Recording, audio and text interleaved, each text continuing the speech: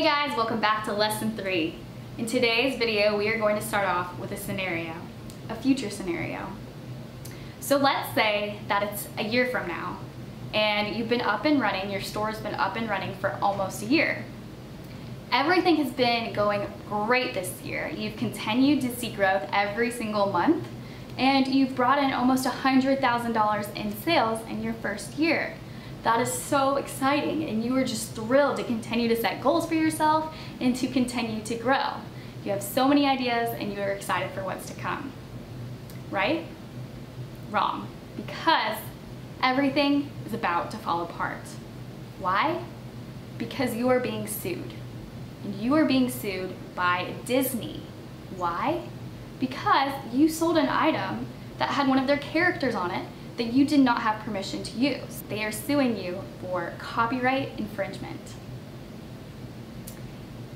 Now, since you set yourself up as a sole proprietor, all of your personal assets are liable. So all of your personal savings, your house, your husband's 401k retirement fund, it's all liable because you chose to set yourself up as a sole proprietor and not as an LLC. Now, if you think that this is unlikely, I will link in the description bar a link to an article that showed that Disney actually sued a company for creating a logo that looked too similar to their logo with the Mickey Mouse ears. It happens to small business owners. Now another example could be, let's say you've decided to sell designer inspired or counterfeit face mask. So you're using face masks that have Gucci's logo, Louis Vuitton, etc. You are selling those face masks. And now, all of a sudden, you're being raided and you're being charged for selling counterfeit goods. That's something that you want to avoid. Now I know that also seems unlikely because so many people are doing things like that and they get away with it, but all it takes is one scenario, one time, to risk it all and to lose everything.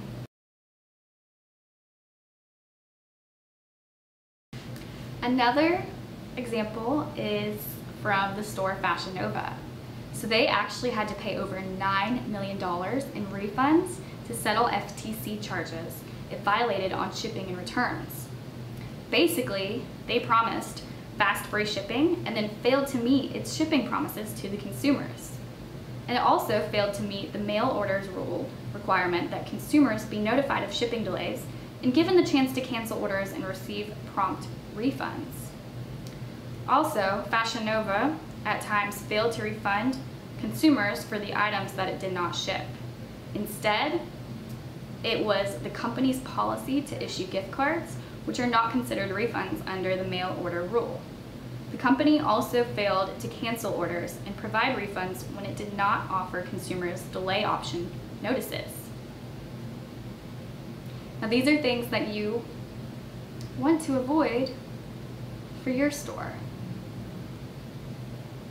So that brings me to our topic for today and that is going to be all about how to set yourself up and your store up for success legally. You want to make sure that everything you do is by the books and that you have taken all the precautions and registered for all of the things you need to in order to legally sell products online. So now let's take some time to talk about all the things you can do for your store to set it up legally.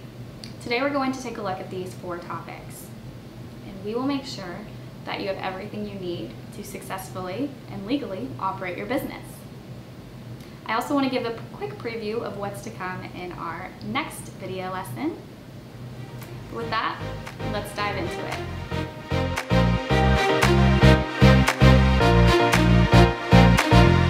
Now the first thing that we need to do is to register your business. Now an LLC can't prevent you from breaking the law or getting in trouble. But what it can do is protect your personal assets. A sole proprietorship offers a low cost option and simplicity. An LLC offers flexibility regarding how you pay taxes and protection for the LLC owner. Understanding the differences can help inform the decision that will be right for your business. So let's take a look. As a sole proprietor, you will be taxed as a self-employed person. LLCs can actually be taxed as a sole proprietor if you are a one-person LLC, or as a corporation or partnership. To register your LLC, you will need to pay the registration fee and then also pay the annual registration fee every single year. Your business name must include LLC or limited liability corporation in it, but you can then choose to register a doing business as if you want to use a different name than your LLC. For the sole proprietor, you do not have any name requirements. The major downside to the sole proprietorship is that as the owner, you are not protected against lawsuits filed against your business, and you will be responsible for any business debt. And creditors can come after your personal assets. Choosing an LLC would protect the owner. One thing that is similar for both is that if you are a one person LLC, you will be required to report your income and expenses. Your net income will be taxable regardless of which option you select. Once again, you face a significant risk if you choose the cheaper option to register as a sole proprietor. At any point, if you are sued, all of your personal belongings will be at risk. If you do open a brick and mortar and someone slips and falls, your personal finances will be at risk. On the other side of that, if you're married and your spouse goes bankrupt, your business expenses will then be at risk as well. With an LLC, your business and personal assets remain separate, and if something goes wrong with one, the other will not be affected. So in conclusion, although the sole proprietorship is the cheaper option, the LLC will benefit you in the long run by protecting you and your assets. For more information, trying to decide which one to choose, contact your accountant. Now let's take a look at how to register your LLC. If you have chosen to form an LLC, you have made a great decision. An LLC offers flexibility when you pay taxes and it protects the LLC owner. The process of registering your LLC will differ by state. But what I've done is linked in the description bar a link to a blog post that details all of the filing fees and annual registration fees by each state. Now, although the process varies by state, I will list out the basic steps you need to take to form your LLC. First, you will need to choose the name for your LLC. You will likely need to put LLC in the name. So for example, if you are the Ladybug Lifestyle Boutique, you will need to make it Ladybug Lifestyle Boutique LLC. If you decide that you do not want others to see LLC in your business name, you can register a DBA, which is a doing business as, where you can use your business name.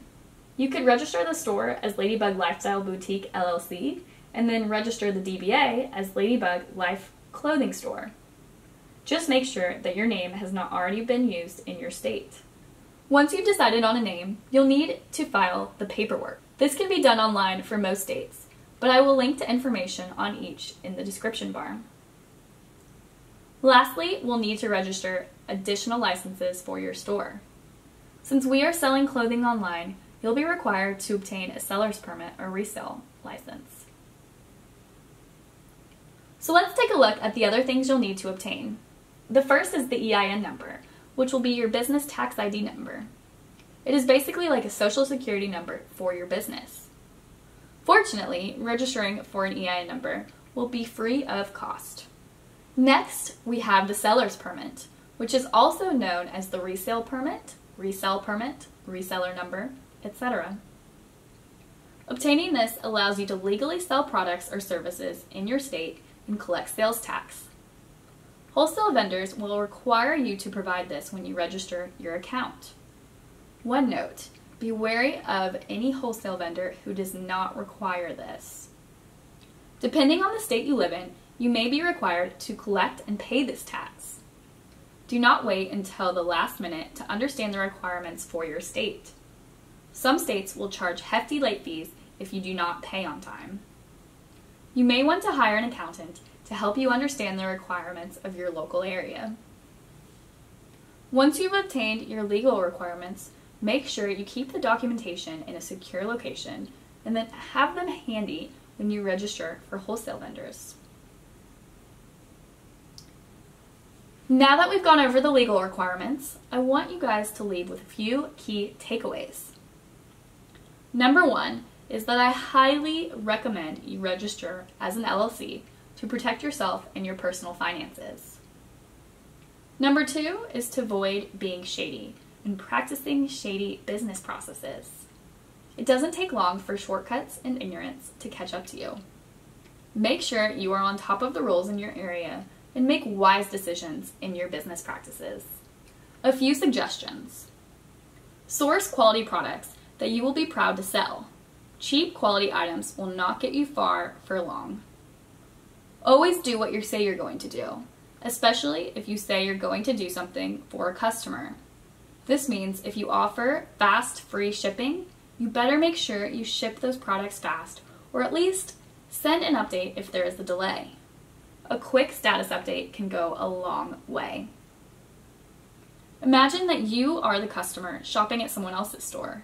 If you would be offended or upset by something the owner said or did, you best believe that your customers will too. Just treat your customers as you'd want to be treated as a customer. Always make sure that you keep track of important records and document anything that you think could come back to bite you in the future. The more you have available, the better off you will be when something comes up. Now I hope you all enjoyed the content for today's video series. A quick reminder, I do have linked below all of the blog posts and articles that we referenced today, so if you want to check out how much it costs to register your LLC in your state, that information is linked below.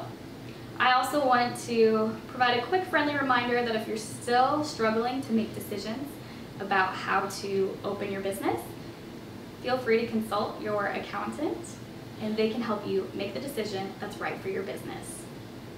Now with that, I hope to see you in our next video series. If you missed out on lesson one or two, I will link them down below. And I cannot wait for you to open your business and sell things